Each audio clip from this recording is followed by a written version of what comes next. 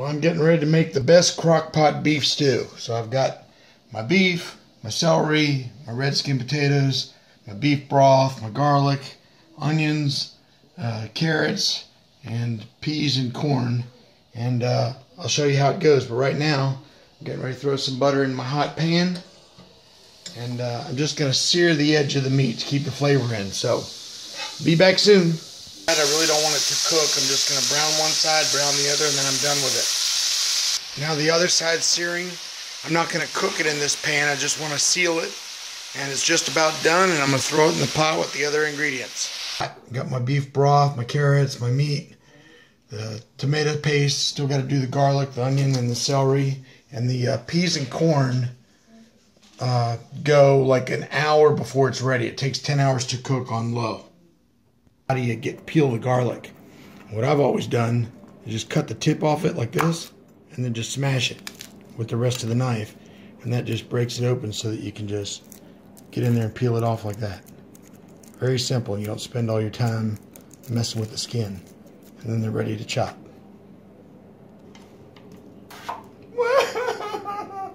What's that?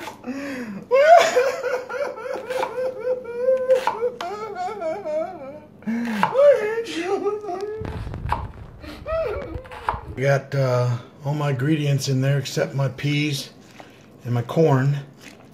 And uh, it's going to cook for like 10 hours. Then we'll add the peas and corn and add a little bit of flour and make the gravy stew. But it should be delicious tomorrow. Oops, sorry, I wasn't watching the camera. I was watching the stew. All right, that's it. Okay, let's see how it looks. Ooh, looks and smells good. We'll take our spoon, give it a stir. Looks nice. I also take uh, take one of these carrots, push it against the wall, and slice it with a wooden spoon and make sure that it just cuts in half like that instead of you know, kind of like butter instead of has some snap to it because needs more cooking if it snaps like that. Now I take some cold water and uh, a quarter cup of flour, and that will thicken up the gravy.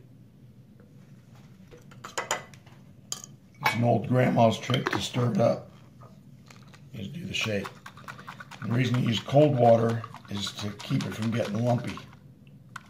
Just make sure that's mixed thoroughly.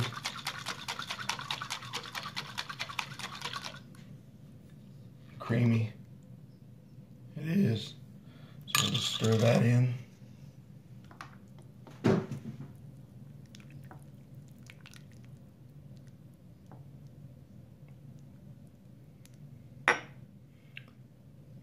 that'll actually expand a little bit, absorb some of this liquid, and it'll also get a little bit darker.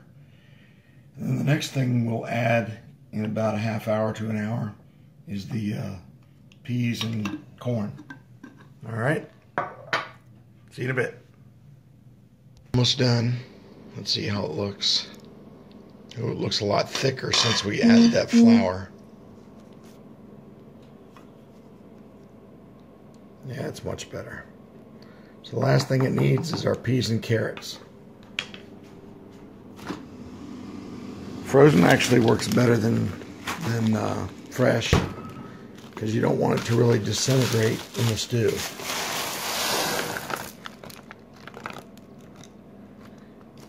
And actually, we'll let those uh, get in there and then we'll change it from uh, cooking to just warm because we don't want these to turn to mush.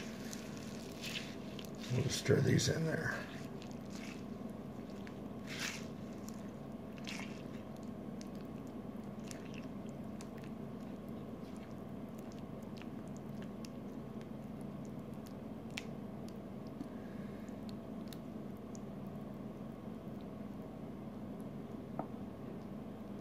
All right. That's it. The best crock pot beef stew.